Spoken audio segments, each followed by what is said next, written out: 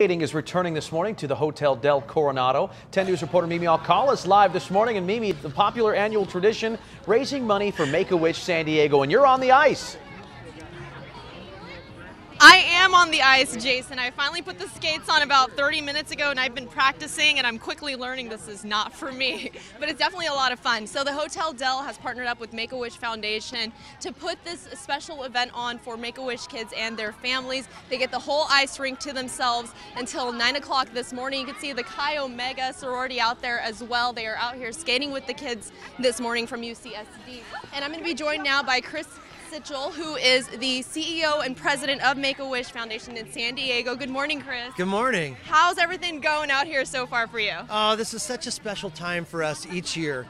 It's an opportunity where we partner with our longtime friend, the Hotel Del Coronado.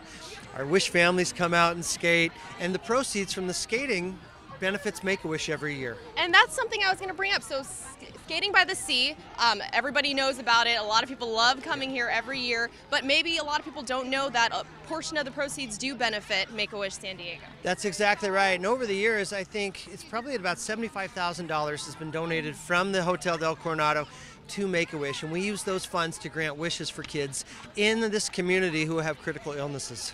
And what's it like for you to see everyone out here, Levi and Dahlia over here having such a great time this morning? Oh, it just feels like the holidays now. You know, and, and Make a Wish and the Hotel Del, we partner year round on wishes and doing things for kids. And this is just a very special thing where you can see the Pacific Ocean, you can um, you can do good at the same time and ice skate. So it's just a very special time for people to be able to support Make a Wish and enjoy something very special at the Hotel Del. Thank you so much, Chris. It's absolutely beautiful out here. Levi, this is your first time skating or no? It's my first time skating. It's your first time? Are you having a fun time? Yes. Yeah? Are you going to help Dahlia here?